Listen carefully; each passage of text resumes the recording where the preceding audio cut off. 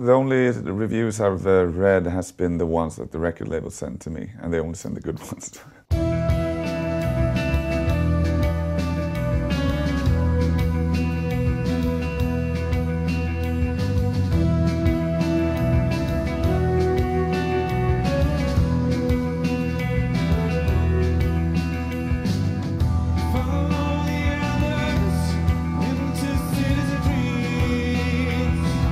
It's a different record. I mean, uh, once the record was done, I was like, well, you know, there's going to be a lot of people who's going to hate this album, and I'm a bit fragile lately.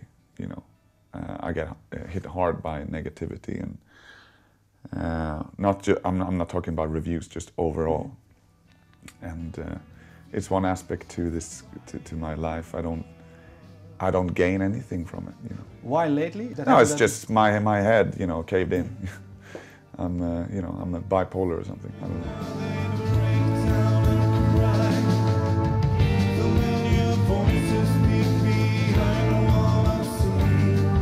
One thing that people tell us a lot, they heard it, like, new album's very interesting sound.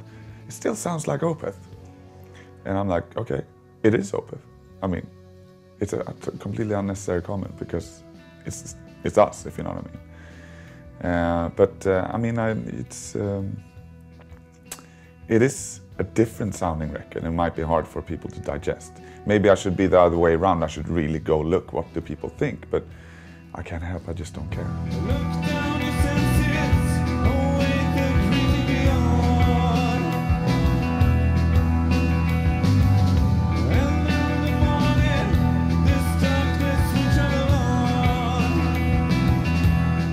The nature of this album, I guess, we're bound to bring in some new fans that might have had a problem with whatever we sounded like before. That's probably probably already happened, you know. But we also kind of, in lack of a better word, weeding out those who are not open-minded enough for this band. I mean, this I can I can imagine there's a lot of people who just simply don't like us anymore because we don't have the screams, or because it's not the, the contemporary typical type of metal productions or whatever. It's not like we, we're search, searching for a perfect fan base who just appreciate everything we do. But I mean, we, we play for ourselves, and if you want to be along, you know, come along with us on this whatever ride, you need to be, um, as I said, have a slightly bigger understanding of, of music and a, a wider taste in music. Otherwise, it, it simply won't won't click with you.